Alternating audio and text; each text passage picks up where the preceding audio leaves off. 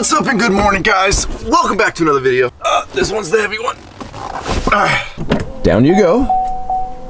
Well, I'm finally excited to say guys, today is the official start of the Tahoe SEMA build. And you may have been able to tell by what we loaded in the back of the Tahoe there. Um, we're actually gonna put the lowering kit on today. And as you can see, um, you know, I wasn't lying about this thing not being used. This thing is absolutely filthy and it hasn't been driven in I don't even know how long. This spider has practically built an entire condo over here of spider web. So we need to give this thing the love it deserves. So you guys may or may not remember, um, we got this Tahoe for my mom and it's actually kind of become the, the grandma mobile. If You can see the car seat back there for the grandkid. And well, she doesn't really drive it. We've had it for six months and there are all of 611 miles on the uh, odometer there. And I'm pretty sure like 150 of those are mine. So when I heard that uh, Anzo light, so when I heard that Anzo Lights was looking for a Tahoe for SEMA, I'm like, well, we've got a Tahoe sitting here. You know, as long as we don't go too crazy with it, I'm willing to, you know, put some work into the Tahoe and make it a SEMA Tahoe slash the coolest grandma Tahoe around. All right, well, we made it to Preston's. Check out this sick uh, chase truck over here for Emberton's Racing.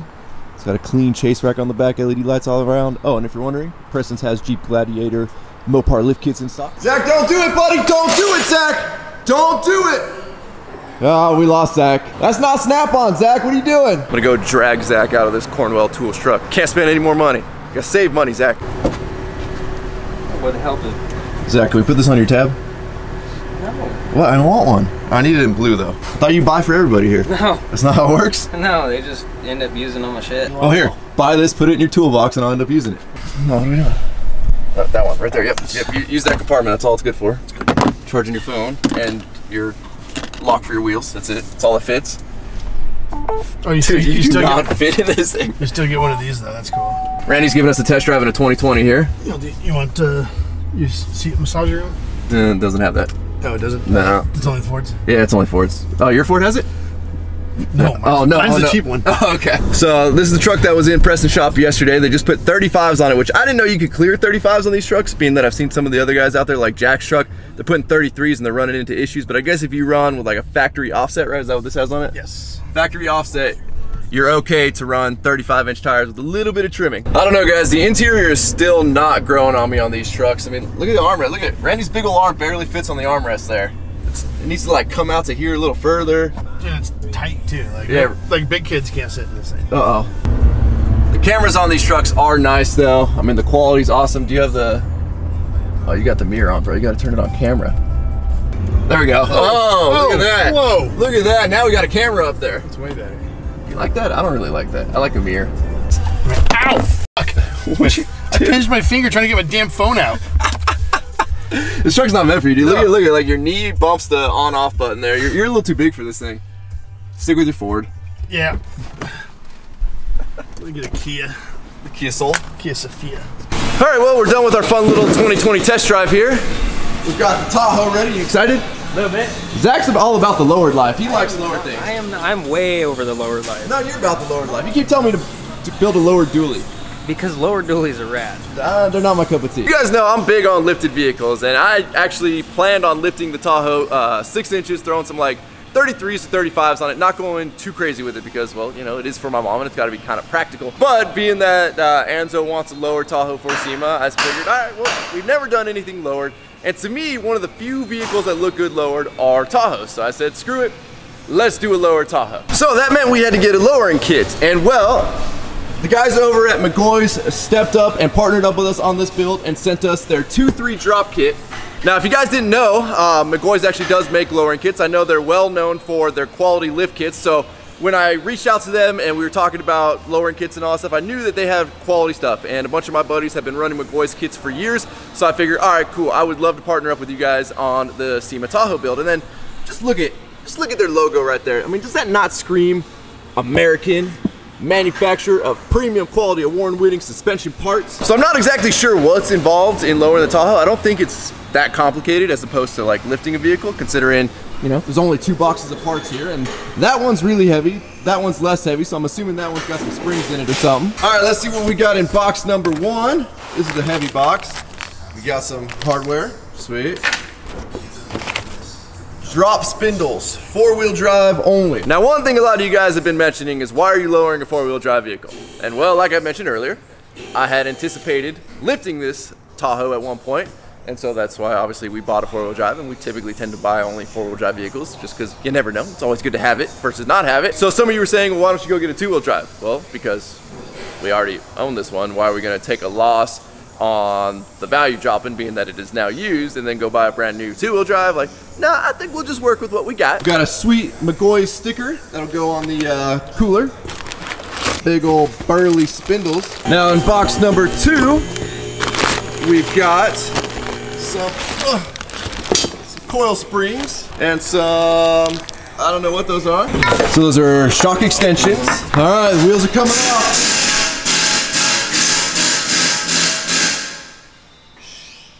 Trying to, trying to film. So unfortunately, these tires and wheels are gonna be going back on after it's lowered today because we don't have the new wheels and tires just yet. And I've got a lot of faith in your guys' advice that 26s are gonna clear without anything crazy happening. Zach, do you got faith 26s are gonna fit? Salva said they did. Zach's starting to tear the rear apart here. Not the first time you've heard that one, huh, buddy? Ooh. Ah, oh, I'm funny in my head sometimes. I don't know if you guys can see it on camera, but shoot, there's even spider webs growing up underneath here. See every little duster we get all spider webs off? Is that standard? Uh, is that part of the installation? That's a that's uh, the pre the what is it? The platinum package. Oh, platinum installation package. Oh, I, I can't afford that. Yeah. I can't even afford it, and I'm the one doing the work. You got it, buddy. Look at that. Old springs are coming out. Oh, what is this nice blue thing on there? Uh, I don't know. Here, let's compare springs. Uh, said it. Oh, that's like one of those. it's one of those little puzzle things that you get. You got this. You can do it, buddy. Maybe. There we go. There it is. All right. That's the difference in size. There we go. Factory spring, lowering spring. Yep, that's quite the difference.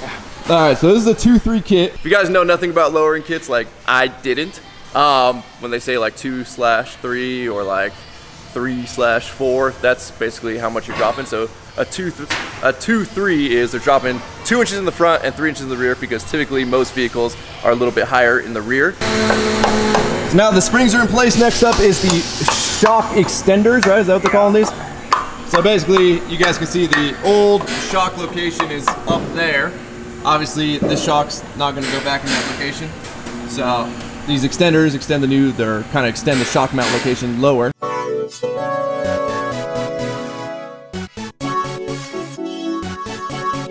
So in case you guys are wondering just how simple these lowering kits are, the back is already done, tires and wheels are already back on, and that took Zach all of like, I don't know, what, 30 minutes, 45 minutes or so? So now he's starting to take the uh, the front apart. The front's got a few more things to it, but at the same time, I don't think it's that tough. Nuts and bolts. Nuts and bolts, that's it. Look at how small these upper control arms are on these things.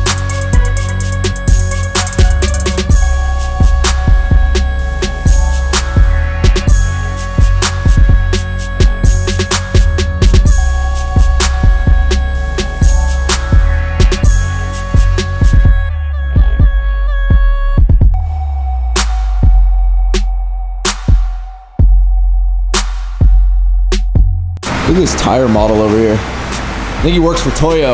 You modeling for Toyo? Or Nitto? Are those Nittos? They're Nittos? All right, he's modeling for Nittos. It's a little warm in the shop today, so we gotta make sure Zach stays hydrated. We'll get him his favorite. Coming in hot. It's a football, catch it. You guys are getting good at that. You're required to drink this on camera per my sponsorship with Dr. Look, Pepper. get get this right there. There you go. that. That's a working Oh. man. Working man. Oh yeah, nice and dirty.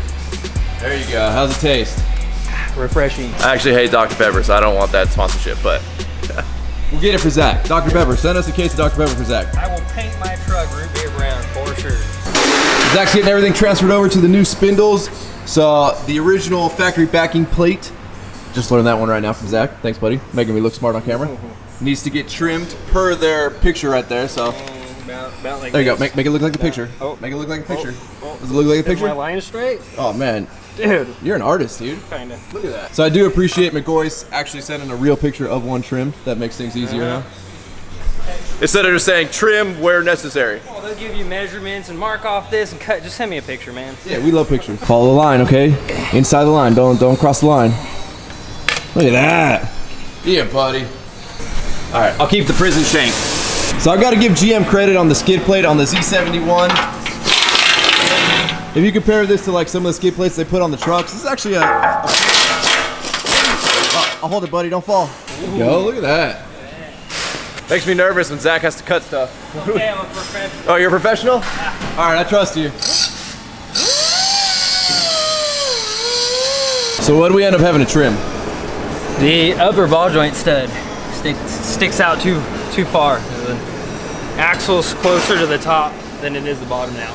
So you move the hub up. That's how they're getting their two inches. So one thing that just hit me while Zach is uh, finishing up on the front here is this thing's gonna look absolutely ridiculous having the uh, Z71 side steps with the aggressive off-road tire tread when they're like that far off the ground. They're currently already kind of useless at the stock height. I feel like I'm cheating on Milwaukee here by using this old snap-on. Let's see what this thing's all about. Hold on, one to 10, two or 12.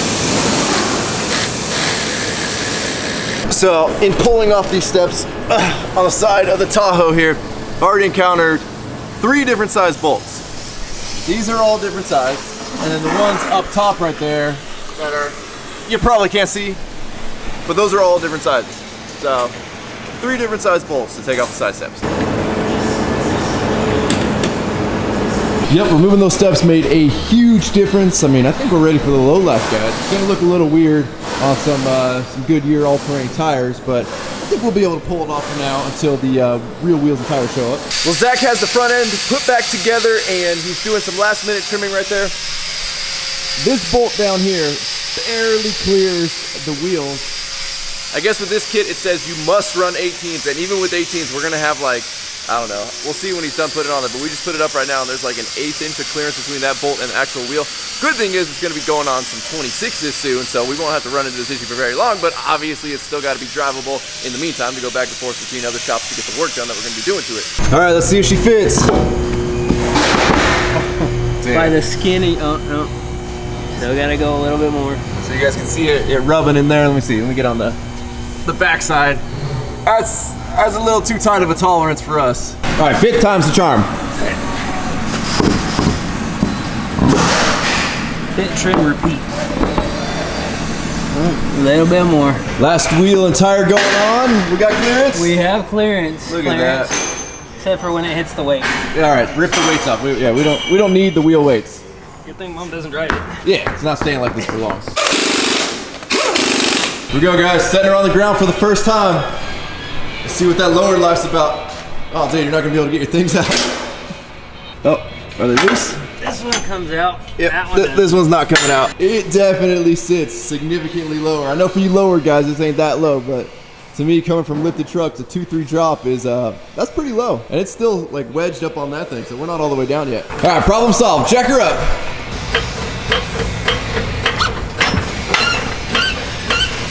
Good. All right, now we'll really see how low she is. Damn, dude. I don't know if I'm ready for this lifestyle, Zach. This ain't, It's it's rough. You're talking to the kid that used to flip springs upside down and see Notch's truck and let the springs push the axle against the frame and just that sounds safe. on down the road. There you go. Here she comes, first test drive. Careful, don't scrape. We're real low now.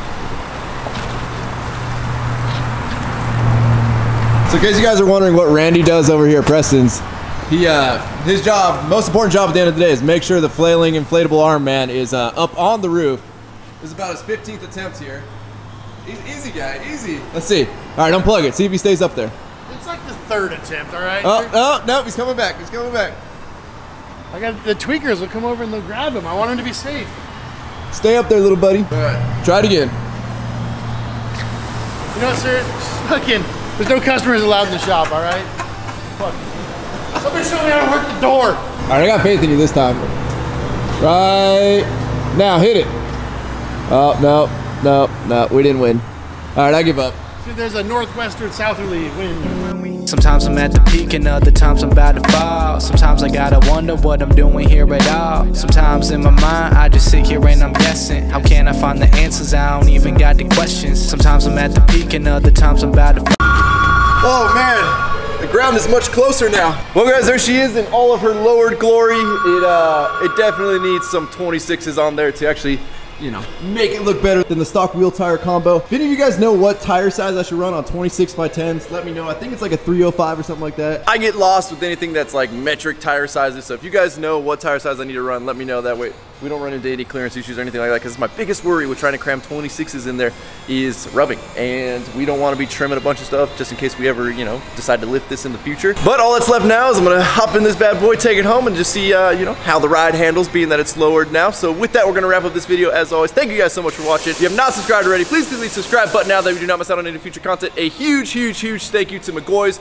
for partnering up with us on the on the SEMA Tahoe build, sending us the lower kit. I'll put a link down to McGaughy's website. If you guys have anything lifted truck needs or even lowered SUVs, lowered trucks, McGaughy's has kits for you guys, so make sure you guys go check them out. Another huge thank you to Zach, who's way over there for uh, knocking this thing out for me today. Also, if you guys would be so kind as to give this video a like, a, a thumbs up, and don't forget to check out workforitapparel.com because if there's anything you want in this life, you gotta be willing to work for it. You guys are the best. I'm out. Damn. Uh. Yeah.